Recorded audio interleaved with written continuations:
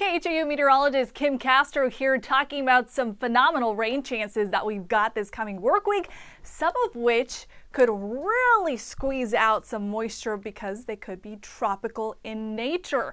Let's talk about the development of the potential tropical cyclone that could be forming over the Gulf by the middle of the week. So, virtually no rain expected this week and slim to very little rain chances. And Sunday's rain chance, in fact, is going to be overnight into Monday. But then check out Monday 50%, 60 again for Tuesday, repeating on Wednesday. And notice the rain starts to ramp up and it lingers into the end of the week. Models are suggesting we could be counting this rainfall by the inches.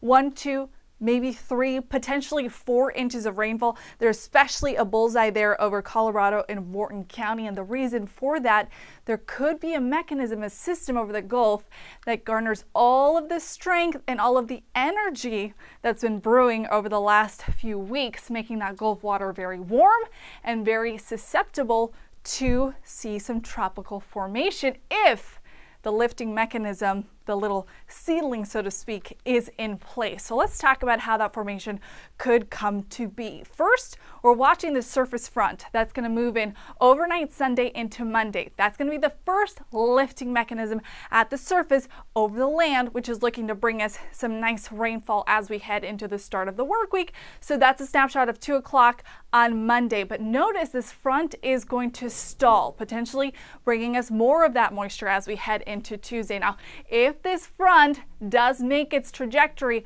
over the open Gulf water, that's when we could see some sort of a spin up develop over this area of rotation that happens along this main front. So what's happening here is we've got this counterclockwise flow.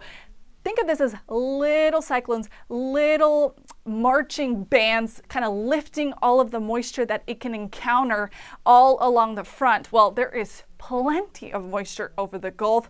So if this front makes it there, it's going to have a lot to work with, right? A lot to uplift.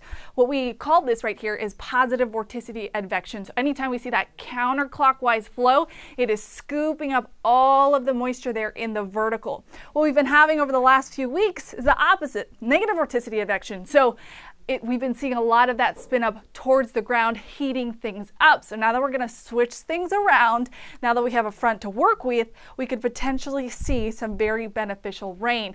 If this tropical low does form, models are suggesting it could start to retrograde. So it could scoop up all of the moisture over the Gulf and then come back into the state of Texas and potentially bring us a very beneficial rainfall, making a dent in that drought monitor. So if that does form, it has got a lot to work with. Like we talked about, the Gulf has just been cooking, sizzling over the last few weeks.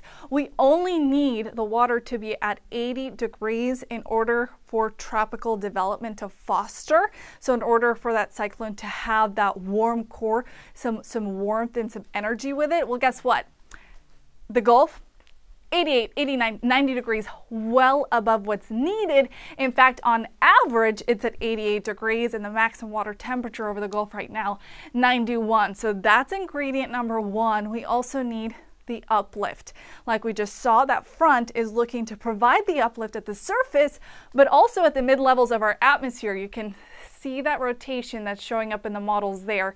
And it's at 500 millibars at the mid levels of our atmosphere that we could really start to see what we talked about, the positive vorticity advection. So the generation of uplift. So the energy that the system needs in order to get the tools it needs to bring us that rotation and potentially that spillover of moisture.